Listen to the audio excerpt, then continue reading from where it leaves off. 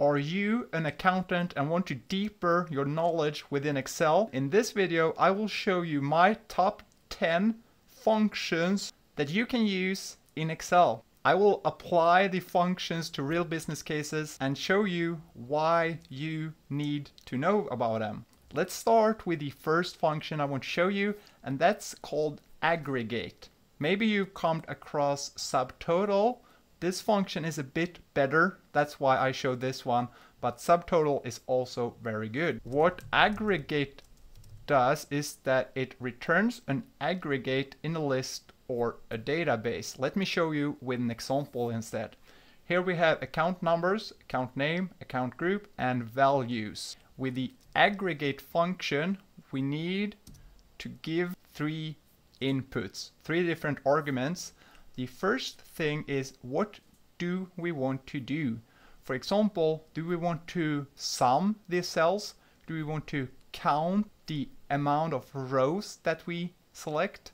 Or do we want to get the maximum value, the lowest value, the average, or maybe the sum? Let's take sum in this example. Then the second argument is the most important one for this function because here's how it differs from the regular sum function. The sum function will sum all the cells in your array. The aggregate function has the option to ignore hidden rows, error values, nested subtotal, and aggregate function. That means that if we use this filter feature, we will only sum the values that we can see. That makes it much easier, for example, if we filter on revenue to get the total value of revenue. So the third option here, number three in the second argument, is the one that you usually will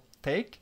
And then the third argument will be our array of cells. And the data here is structured as a table, so we can just press above the heading and get our table one values column and then we close the aggregate function. The total number will be 38,000, but if we filter on, for example, revenue, you see that this one changes to 7,000.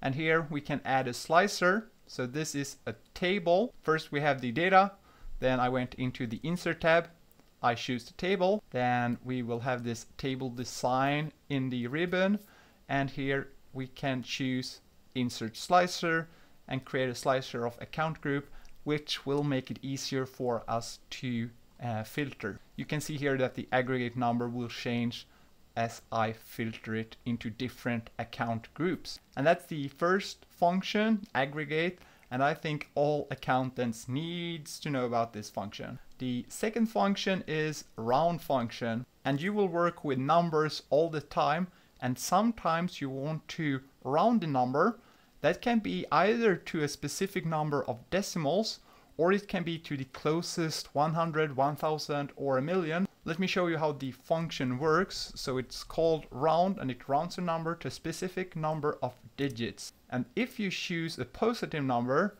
that means that you want to have decimals. So if you choose 1, that means that it will round it to the closest number with one decimal. So the first argument is the number you want to round and then how many digits you want to have. For example, 1.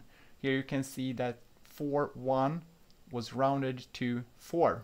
If we use the F4 key to get the dollar signs to make it as an absolute reference, then we can easily uh, paste it downwards. And if we choose 0, that means zero decimals, a whole number. And if we want to make it the closest 100 or the closest 1000, then we need to make a negative number. And the number should be equal to how many zeros there is to the number you want to round to. So if you want to round to the closest 100, that means two zeros minus 2. So 1231 will be 1200. The closest 1000 will, will be minus 3. The closest 1 million minus 6. So that's the round function. You also have the uh, option to use the round down or round up. That means that it doesn't round to the closest 100, 1000, 1 million. It will round to the closest 100 upwards or downwards. And that's the second function I think all accountants need to know about. The third and fourth function I'll show you is the EOMONTH and E date. And usually when you work with accounting, you have a lot of different dates. For example, a list of random dates, or you want to get a list of all the last day each month for the entire year. Instead of writing it manually, you can use these two functions. And EOMONTH will give you the last day of the month. So the start date will be our date here in the B column. And then if we choose zero, that means the current month in that date. If we write 1, it will be February. If we write 2, it will be March, and so on. So we can use a negative or a positive number, but if we choose 0, it will get us the last day that month, and we can drag them downwards and get the last date. Because that's usually what you want to have if you're an accountant, either the first day or the last day. And the EDATE function will give you months from the date in the future or in the past. So if we take this end of month and choose one, we will get the last day in February. If we were to pick the date here instead, we will have gotten uh, the 13th January. This means that if we just write 2024 0, 0 and e date and this date and then 1, we will get a list of all months in the future. And that's the third and fourth function that I think that all accountants needs to know about. And then our fifth function is the workday intel. Let's write it, workday intel. What it does is that it returns a date in the future, you set a number of days, but it also skips weekends and custom weekends. So let's use it. So let's say we have a deadline three work days after the first each month. Our start date will be our cell here with the first each month. And we want to have three work days in the future. And the third argument is which days are the weekends. And if you don't write anything it will be Saturday and Sundays which is what we want to have. And then here we have the custom holidays so in Sweden we have red days for all these dates here I just list all the dates and then I select them here and if I want to copy and paste the formula downwards, I need to make sure that these are an absolute reference. That means that it will skip also these dates. And if your company has a specific event or something, and that's not a work day, you want to have an extra day for that one, then you just add it here to this custom holidays. And once we drag it downwards, you can see which day is your deadline. And of course you have deadlines and it's usually a couple of work days from the first the month. Next up we have four different functions in one sheet here. We have the same uh, data as in the first sheet and one function that is relatively new, it came out 2021. If you have an older version you will not have it and it's the unique function and what it does is that it returns the unique values from a range or an array. And it's very easy to use. You will almost always only use this first argument. And here you choose an array, a list of values. And for example, if we select this account group and press enter, you will see that it will return all the unique values in this column. And that is very useful because now in our second function in this sheet is the sum ifs function. What the sum ifs function does is that it sums all values based on one or multiple criterias. For example, if we want to sum the values, but only the values for this unique account group, then our sum range, the first argument, then the second argument needs to be the equal length and we choose our account group. That's the criteria range that needs to be true for our third argument or criteria, which will be our revenue. That means that we use the unique function to get all the unique account groups, and we use the sum ifs function to sum each account group individually. So that's the uh, sixth and seventh function all accountants needs to know about. And now for the function that I use all the time and it's the most valuable function for me every day and that's the XLOOKUP function. If you already knew about a function called VLOOKUP, forget everything you know about it and use this XLOOKUP instead. What it does is that it searches for a value in an array and then returns a value in another column or row. Let me show you with an example.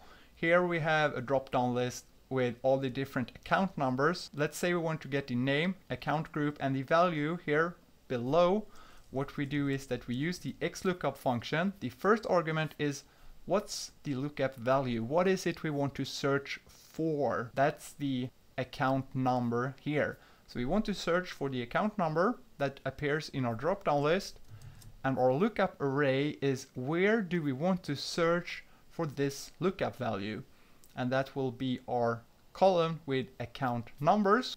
And once we find the lookup value we want to return the account name. But also we want to return the account group and values so instead of using the xlookup function three times we can actually in the third argument make sure that we return all the different columns directly. This is all you need in order for the function to work. We also have the fourth argument. What if we don't find the 6004 in this account number list? What will happen instead of getting an error message? Then we have match mode. For example, if you have gradings and a student get a point and you want to get the next uh, larger or smaller item and then get the grade for that point that the student got. Then you can use this fifth argument. And then the last argument is that you search in the other direction. Instead of from top to bottom and from uh, left to right, you choose the other way around. But these three are optional. You can just close the bracket and the account name, account group, and the value for these three. And if we change the uh, account number here, let's take another one, 8000, you will get another name, group, and value here. So the sum ifs and the XLOOKUP function are the most important one, I'd say, for me at least, uh, to learn. And the ninth function in this worksheet will be the if function. The if function is very, very important. It's a logical function and it checks if a condition is met. And if it's met, something will happen if it's not met, if it's false, something else will happen. So let's say here in the if column that we create an if function. First, we have our logical test to check if something is true or false.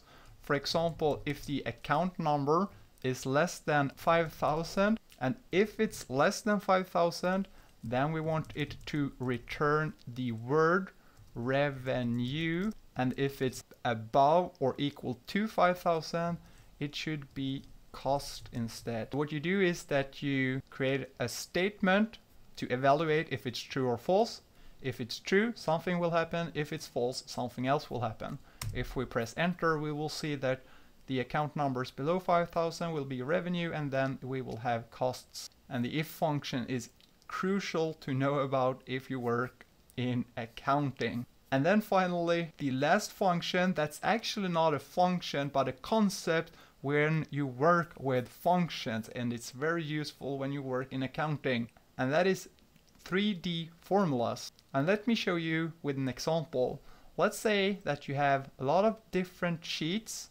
You see here one, two, three, four, and they have each values in the same cells. If you want to sum these values and you do not use 3D formulas, you would probably use the sum function, go to the first sheet and then semicolon to get to the second argument and then go to the second tab and then do this for all the different sheets and then press enter and you get a number here. This could be 50 different sheets. It will take a lot of time. What you can do instead is that you write the sum function and you do it for the first sheet you go to the first sheet and you choose your cells. This will get the sum for the first sheet. And then you can see here the reference to the sheet. If it's a number or if it's two words, you will have this single quotation mark. If the sheet name is only one word and no special symbols, these single quotation marks will not be there. But you will get a reference to the sheet.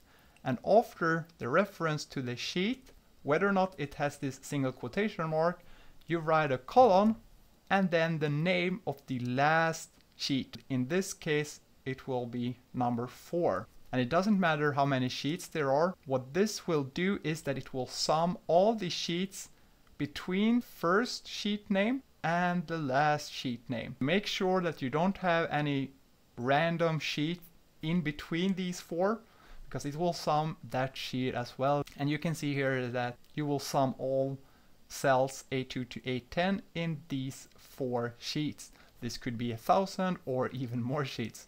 And what's good with this 3D formula concept is that you can use any function. If we don't want to use the sum function, we can use the vstack function. What it does is that it vertically stacks array into one array. Press enter and here you will get all the 40 values. It's 10 in each. These 10 will be from our first sheet and then you have 10 from the second sheet and so on. And that is my top 10 functions that all accountants should know about when they work in Excel. Please write in the comments if you agree or if you have another one that they should know about. And of course, like if you liked this video. Thank you.